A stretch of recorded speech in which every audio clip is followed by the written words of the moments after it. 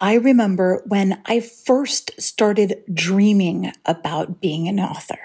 And I thought about all the really cool parts about it, you know, all the dreamy parts, like how cool it is to be able to make a living from just your words and your imagination and the magical stories that you love to share with others, all of that good stuff. But almost as soon as I started being excited about all the potentially awesome stuff that could happen when I became a writer, I also started worrying about stuff that I absolutely should not have been worrying about.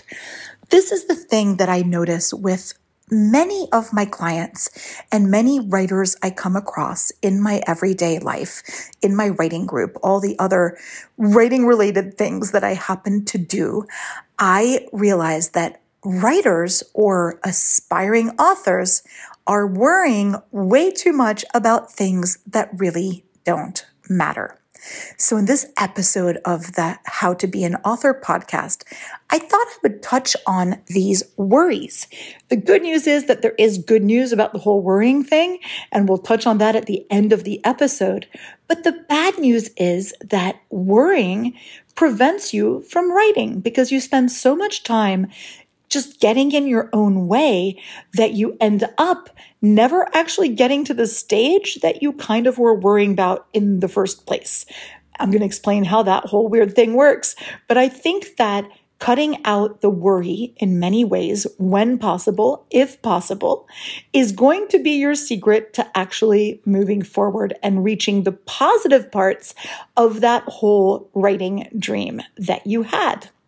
If you're a writer dreaming of becoming a successful author, join me, writing coach Karena Akavane, on the How to Be an Author podcast, your weekly source for writing information, inspiration, and motivation. I'm so happy to have you here for this episode of the How to Be an Author podcast because I think it's really important. I don't want you to feel that I'm ridiculing you when I'm talking about some of these fears that writers have or these things that writers worry about. And you'll hear me say, well, that's ridiculous or that's not realistic or whatever. But you need to realize this whole way as we talk about these things that I completely empathize. I completely understand that these are things that it's pretty much normal to worry about, despite the fact that it's not so much a real problem that you're going to run into. And then some of these things can be a little problem, but we're going to have these workarounds for them. So, for every single fear that you think you've had about your writing career, I hope that I'm going to put your mind at ease with today's episode. So, let's get started. I'm going to start with one that's a little bit ridiculous. And this is one that I was really fighting with when I was younger. So I was fantasizing about being a famous author, but then I would also really freak out about potentially being recognized in the street and losing that sense of privacy and being forced to sell out and write these things for money and everything else. And these days, I think to myself, I should be so lucky, honestly. And also, there's so many ways to avoid being recognized in the street, even if you're an absolute name brand writer. You know, you can use a pen name as long as you remember that you have to market your book no matter what. But also, really, the chances of getting recognized for your face instead of for your words it's not that high. So you can have an author picture that doesn't look much like you. You cannot give too many live interviews or video interviews and focus on being on podcasts so that people recognize your written words and your voice. And then that's it. You don't have to worry about walking into the local Starbucks and having a mob of people throwing themselves at you because you're a famous author. And really, if you think about it, I mean, for example, let's take John Grisham. I mean, John Grisham, he's a famous author, right? He's a brand name, name brand, whatever you want to call it, author. I honestly don't think I would know John Grisham if he walked up to me in the street and said, I'm a writer, guess which one? Honestly, it would take me like a few guesses. So there's no way he's getting accosted unless, okay, unless it's the creepy people who are totally obsessed, in which case, again, don't put your picture out there too much. But like, look at J.K. Rowling. The only reason she's so recognizable is because of the number of interviews she gives and also because of the fact that, come on, let's be real. She is a one in a gazillion writer who is so uber successful that, you know, that's something that she chose for herself. So I would say before you finish writing your book, before you've sold a gazillion copies of your book, I think that worrying about being too famous and not having the life of your own, I'm thinking that that's a fear that's a little bit of a fake fear. That's more of a little excuse for why you're not doing your best work. And in terms of selling out, again, we have choices. Let's pretend that you've written a book and that somebody's saying, you know, let's make this into a theme park and you don't want to do that. Okay, I would. Me, me, choose me. But if you don't want to do that, you have every right in the world. Writing at this point becomes a business and it's your choice whether you're going to be selling your work the way you want or whether you're willing to sell out in whichever way is available to you. But again, you should be so lucky to be in that position and then just stand up for yourself. I do think it's really important for writers to realize that you do have rights, that you don't have to say yes to everything that an agent or a publisher puts out there or says or does, and that it's important to have legal representation for yourself so that you do have someone who's in your corner and who's saying, no, this is not going to work for my client. So keep in mind that scrimping on a lawyer or scrimping on that agent representation, maybe not the best bet, and always read any contract, but selling out is probably not something you need to worry about so, so much. Okay, here's my next fear that people have, a lot of people, when they want to work with me. And I'm like, great, okay, cool. Well, send me your synopsis, send me your outline, send me the first couple chapters. Or they'll ask me, you know, what am I supposed to do for my package that I'm sending to an agent? And I'm like, yeah, same thing. You know, they're probably whatever they ask for, the synopsis, including the ending, blah, blah, blah. And they're like, what if they steal my idea. Or they'll tell me, like, how do I copyright my work before I send it to you? And to this, I say, baby, I promise I won't at all steal your work. I'm too busy not writing a bunch of my own stories.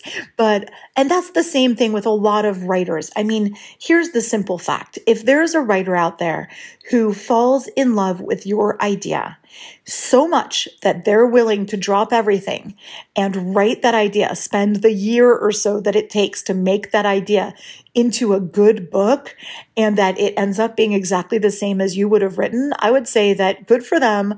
Poo on you if you didn't get your book out there faster. But honestly, I don't think you need to worry so much about that possibility. It's, you know, it doesn't work that way.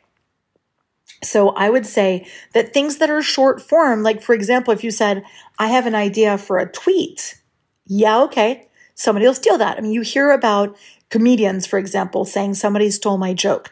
Fair enough. It takes all of one minute to tell even a, a kind of sophisticated joke. That's stealable. A book, not at all.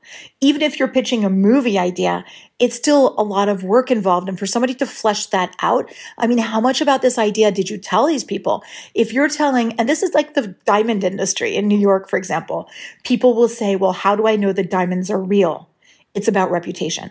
So if you're going to go to a professional with a reputation with your book idea, it is their professional reputation on the line. They're not going to steal your idea or do anything else that's unprofessional because that means that their reputation is shot. It's the same thing with those diamond dealers in New York. If they sold a fake diamond, everyone would know about it really fast. And guess who's not a diamond dealer anymore? Them. Same goes for your agent, same goes for your editor. Guess who's not going to have much of a career once the first writer they stole from starts complaining about it all over the internet. And that's the beautiful thing, by the way, is before you hire a professional, look and see if they're a scam artist. Look and see if they are who they say they are. And you can definitely find that online. You know, do they have a website? Do they have social media presence? You know, all of these things help you to see that these people are actually who they say they are. And it's probably going to put your mind at ease that nobody's going to be stealing that idea of yours. And, you know, here's the thing. If you've got an idea and you can't motivate to write it and you're just telling it to everyone, and then you do that thing where you're like, Hey, I've got this great idea. Why don't you write it? And then we'll split the profits baby, you have no idea what a tiny percentage of the creative process that first seed of an idea is. And that's where we get this other fear that's kind of adjacent to this, which is writers who really worry whether their idea is original enough. Oh my God, is my idea original enough? Oh no, I had this idea and then somebody had one kind of like it. Or, oh no, I was writing this book and then I read something that was kind of similar and I'm devastated. Here's the thing ideas in general are not that original anymore, right? There's so many writers on earth. There are story archetypes that are limited. You know, ideas are limited. What makes them special is your unique voice. And there's nobody who's going to manage to copy that as well as you can do for yourself. So I wouldn't worry about the originality of the idea. And moreover, if there's a book out there, like if you've just finished writing your book and all of a sudden you see that there's a book that has just been published that's really similar to what you wrote and it's doing really well, that's actually good news. That is proof of concept. And that's something where I tell you, bravo, strike while the iron's hot. Tell those agents, look at this book. It just came out. It's doing great. Mine is similar. It's not going to be identical. It's similar. And that proof of concept is what's going to show the agent that your idea is sellable. And that's what they're looking for. So that's really a great thing. So don't worry about the originality of your idea. And if you're feeling that, oh my God, this book just came out and it's really too similar to mine, like it's not only about dragons, but it's about dragons in New York and it's about these two characters and one is named Wendy. Well, guess what? Change Wendy's name, change the city, and you're golden. That's all that needs to be done. And a lot of these changes can be made through search and replace with your computer, and it's not going to be a big deal. A lot of writers also worry about the competition. They see these other writers succeeding and they feel that, oh my God, that means that there's no more space for me to succeed. It's that whole limiting scarcity mindset where they think to themselves, just because my friend succeeded, I am now at the back of the line. Does that make any sense? It absolutely does not. The more people are succeeding, to me, that's the best sign out there that, yeah, people are still succeeding as writers. That's great news. There's still readers out there buying books, and maybe you're next. Maybe it's your turn. But you know what's going to prevent it from being your turn? 100%? You worrying about the competition to the degree that you do not write your book. So many of these fears are absolutely not going to be something you need to worry about at all if you don't write your book. And that's the super huge irony of it. It's the self fulfilling prophecy aspect of these fears. And I just feel like these are not fears, they're excuses in a way. And I'm absolutely, once again, I'm absolutely not mocking you or, you know, insulting you in any way because I have been there, which is why I was able to make this list so fast. You know, I was worried about the competition. Oh my God, you know, this person I vaguely know, a friend of a friend of a friend, got a writing contract. Well, there goes my chances. How silly is that? That means, hey, maybe if their book's similar, I should approach that agent too and mention that I know that person. If they like that person's book, maybe we have something in common. Maybe they'll like mine. That's the way to look at it, right? Look at everything as not competition, but an opportunity. And if there's somebody, let's say that there's a writer out there that you love to hate. Let's say that there's a writer out there that you see as competition. And like you notice to yourself that you're kind of hate scrolling through their socials and you're reading their books and being super insulting, but you're kind of rage reading that stuff. I think that might be a sign. I think that might be an opportunity for you to see that there's something triggering about that why? Is that triggering because you want to be like them? Is there something about their presence or their identity that makes you feel less than in some way? What's making you feel that way? I think it's really important when you're having these emotions that seem like they're not making that much sense. You want to look at the base and look at what it means. And always when you're having these emotions, the whole point is don't react at least not right away, look at them as an opportunity to act in a logical and concerted manner that's going to move you forward. I think that's so important. Um, so look at that. And I think that that idea alone for me was a huge change. That was something that made all the difference in learning to move forward, learning not to fear this competition thing, learning not to be using some things that are unrealistic as excuses. Okay, here's another cute little thing that writers worry way too much about. They worry about what their cover is going to look like. And even more, some writers who are doing like kids' books or something, they worry about who is going to make the art for it. Now, if you know anything about printing, if you're trying to go with conventional publishing, you have pretty close to zero say what your cover is going to look like and who the illustrator is going to be. So this is something important for you to know. So if you are conventionally publishing, that cover totally not anything to do with you unless I mean who knows? Unless there's a miracle and somebody's like hey do you have an idea for what the cover is going to be? And then you can weigh in. But usually the cover is marketing. The cover is the art department. That's not you in fact, I might extend it to saying that your title might be changed on you, which is why I always call my titles in my books a working title, because I know that those things might change multiple times before you're ready to publish regardless of whether you're conventionally publishing or if you're self publishing. That title is going to be the last minute decision. And the cover, same thing. Many authors are married to a certain cover or a certain style. And by the time their book comes out, that cover is looking dated. Or by the time their book comes out, the whole premise of the book has changed a little bit and now the cover is not really working where sometimes writers will tell me like well i paid for this cover design and you know full disclosure usually they paid for it on fiverr so come on give me a break. You can get a new cover but people get married to these covers that aren't actually optimal. So I'm saying, you know, don't get married to one cover. Be open to different covers. Be open to A B testing a couple different covers to see which one works best. Because here's an important thing to realize. You don't need to worry about your cover right now before you finish writing, but you do need to think about your cover at some point if you're self publishing because your cover is literally one of the hooks for your novel. It's one of the things that is going to instantly make a reader think that they either want to read your book or not read your book. So you don't want a cover that looks cheap or that looks amateur or that looks too similar to others or that doesn't look like it belongs in your genre. There's so many things about the covers that you need to be careful about, but don't be worrying about it when you still haven't finished the rough draft. That's just all I'm saying.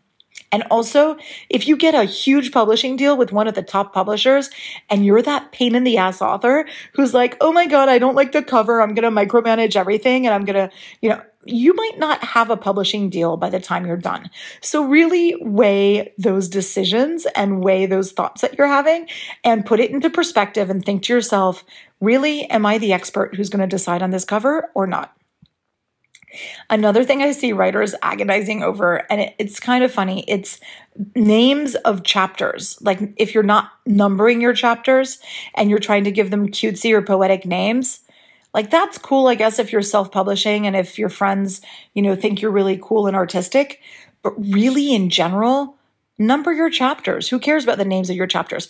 Especially if it doesn't really have that much to do with what's going on in the chapter. And sometimes I just want to read the chapter. I want to know what's going to happen in the chapter when I read it. I don't want the title to tell me when George does this, or I don't want the title to be, you know, uh, the wild goat in the cherry orchard, like things that don't mean anything. I don't want that as a title, no matter how poetic you think it is. I think that that's not really essential. And I know that some authors, and I wouldn't be saying this, like if you don't do this, you probably think like, what is she talking about? But really, I know authors who agonize over these titles of chapters and they worry about them and it impacts them in a way that they don't finish their book. So that's pretty pretty wild. Um, another thing that so many authors worry about, and I really wish you wouldn't, is how bad your writing is. Listen, this is what I have to say about that. Like, does your writing suck in your first draft? Probably. Honestly, like I read my first draft or I read things I wrote a few years ago, and I'm like, oh, I'm shuddering. This is so bad. It is embarrassing how bad it is. And that's just proof that we're learning and growing as writers. We all start off somewhere, unless we're a prodigy of some type. But quite honestly, I would rather be the person who's learned a lot along the way than the prodigy for whom it was just easy and who doesn't sit there and suffer as they're writing and who has no self doubt. I think that it's nice to have at least some degree of humility in our craft and also to see it as a craft and not just something that just spews out of us, uh, fully formed, perfect and everything else. So don't worry about how bad your writing is. If you want to be a writer, if you've got this calling to be a writer, if you've got this book inside of you, I can bet you that you're going to figure out a way to make your writing just perfectly good enough for your reader. And that's the other thing is maybe your writing's not what you had hoped it would be. Maybe you thought your writing was going to be this poetic thing and instead it's something that's just good storytelling. And you're not getting the audience that you thought you would get, but you're getting a fantastic audience that's different than that and they're raving fans. I think just wake up and say, you know, maybe this is what it was meant to be. I'm still a writer. I'm still a good writer. I'm just not exactly the writer that maybe I thought I was going to be, or maybe somebody told me I should aspire to. Sometimes we look at other writers and we think, oh, this is what a real writer is. This is how a real writer does it. This is how a real writer sounds like. And we end up feeling bad and we end up sabotaging ourselves and we end up over ed- editing our text and, you know, delaying everything. But really, sometimes what we think is bad writing is writing that can be helped. And sometimes some of the things that we think is like, oh, this is ugly and this is this. That's the thing that actually speaks to your reader. So don't ask yourself how bad your writing is. Hire an editor or ask your beta readers. And also, when you do that, take some of that advice with a grain of salt. After all, this is your book. So there's some things where we're blind to how bad our writing actually is, and that's totally fine. It happens to all of us. But some writers I know will fight their agent or they'll fight their editor or they'll fight their writing coach, me, and they'll be like, no, I'm doing it this way. And, you know, that's where I have to be really kind and say, listen, I'm not trying to make it something that it's not, because that's the big fear. That's another fear. What if somebody makes me make my book something that it's not? And again, that's something where you have a choice. You could decide to say, no, I don't go with that change. But the only changes I tend to make are the changes that I think will actually just make that book the best version of itself that it can possibly be. And I edit for clarity, I edit for the strength of the story and the character and story arc. And that's what I do. I'm not trying to make your book into something that I would have written. I'm just really trying to make you find your voice as a writer. So that's really important. Um, another thing that writers really worry about is putting themselves out there and having to market their book. And I've seen this advice. What's interesting was that I was researching this episode and I was thinking, you know, well, you know, a lot of writers worry about that and they don't want to do that. So that kind of slows them down and everything else. And I've seen advice where other writers or writing coaches or editors will say, yeah, don't worry. You don't have to worry about that. Um, you should just be thinking about writing and you don't need to be thinking about it when you're not, you know, done with your book. Actually, I think that that's not true. I think that you do need to start building your platform as early as possible, maybe even before you started writing your book or when you just start writing your book. But I want you to not worry about it too much. So if you know that you have this super anxiety about putting yourself out there and about marketing, take it slow. Take it easy. Don't push it too hard. The sooner you start, the more easy peasy you can start, and the more you can try to practice those things that don't feel yucky. You don't want to be too salesy. Great. But start building a mailing list as you go. And the sooner you start trying this, the sooner you'll see the things that work and the things that don't work in terms of building your audience. And before you know it, that audience builds and builds. And this is a really useful thing for you. And it doesn't have to be that scary. And also, the more you put yourself out there, baby steps, the more comfortable it gets. Like, believe me, you think I want to put myself out there all the time? Actually, now I don't even care. Now I don't even really think about it that much. That's because I've had years of putting myself out there. At first, it was terrifying. At first, it was really mortifying. And now it's something that just comes more and more easily. And now I almost have to remind myself that, like, hey, you know what? Actually, it does matter if you're acting like a clown in the public forum. So now I need to kind of rein myself in. Maybe, maybe. I'm not even sure. But for you, don't be worrying about it, but do be thinking about it. Okay, now here's a big fear that so many writers have, and that fear is fear of rejection. And I get it. There's so much fear of rejection because rejection is part and parcel of this whole writing thing. You put yourself out there, you're gonna get rejected by someone at some point. Like you're not going to get into that literary journal or you're not going to get accepted by this agent. You know, this publisher is not going to want to publish your book or they're not going to want to, you know, promote your book on whatever. Rejection happens. And also the negative reviews are part of this as well. You know, oh my God, what if I get a negative review on my book? Well, guess what? Okay. You can't please everyone, first of all. So you're going to get rejected. First of all, this is a business. So you can't force somebody to spend money on you if they don't fully believe in it or stand by it or that they don't feel it's speaking to them. This is not a personal thing at all. It's a business decision of is this something I want to pay for? Or is this something that I think people will want to pay for? Or is this something that I stand behind? And sometimes it is and sometimes it isn't. So you need to realize that your book, it can't be accepted all the time or praised all the time just because it's your special baby that you worked on really hard. So I've had some authors that I work with who I think are delightful and I see and I want to really again I want to put a little um, warning on this where I've had authors where they've written something and I've been like you know I see where you're trying to go with this, but the story really isn't where it should be. And, you know, literally there's no agent who would ever take this on. And this is something that's objective because, you know, there are some things that are opinion. For example, the subject of your book. Somebody's going to say, nobody's going to want anything about dragons. And somebody else is going to say, oh my God, I love dragons. Okay, that's an opinion.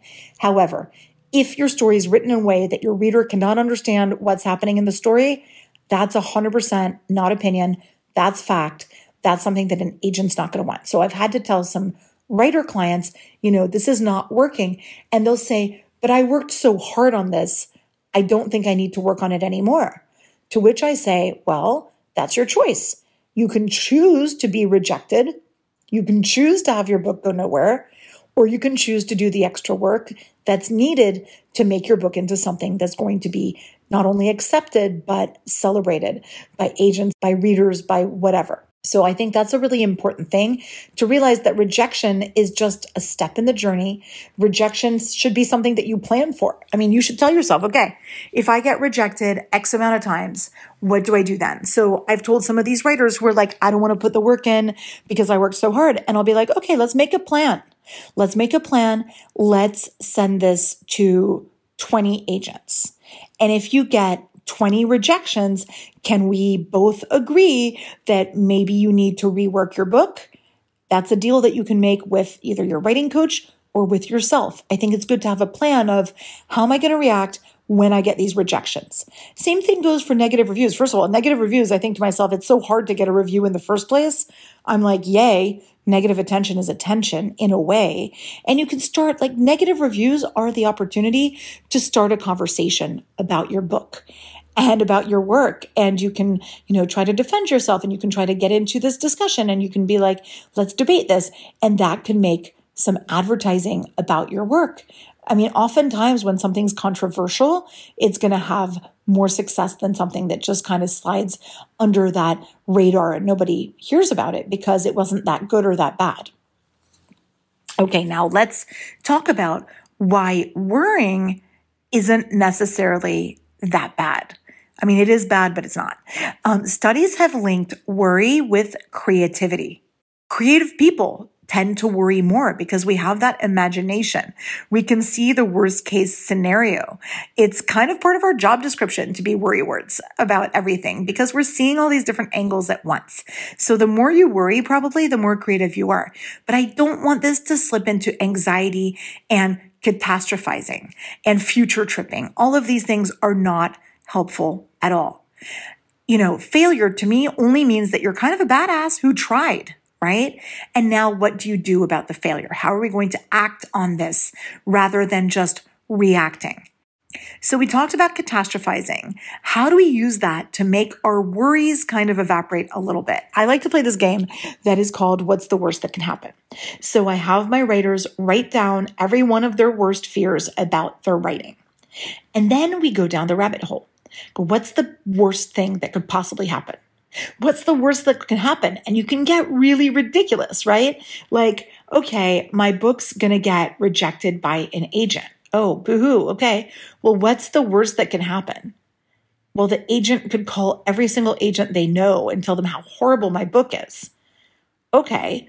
Well, then what does that mean? Well, then every single agent that I approach is going to, you know, tell their friends too. And then the whole world is going to know to avoid my book.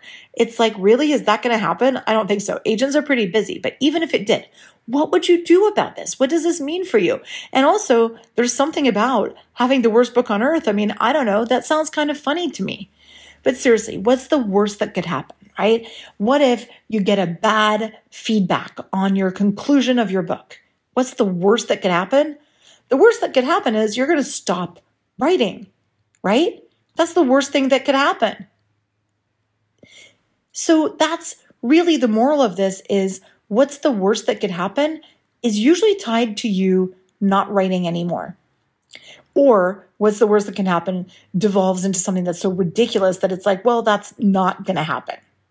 You see what I mean by that? So I think play this game, write down your worries, just write them down and kind of laugh at them or take them to their natural progression of what's realistically going to happen or what's going to be totally crazy to happen and play that game and then tell yourself, is this worth not having my writing career over?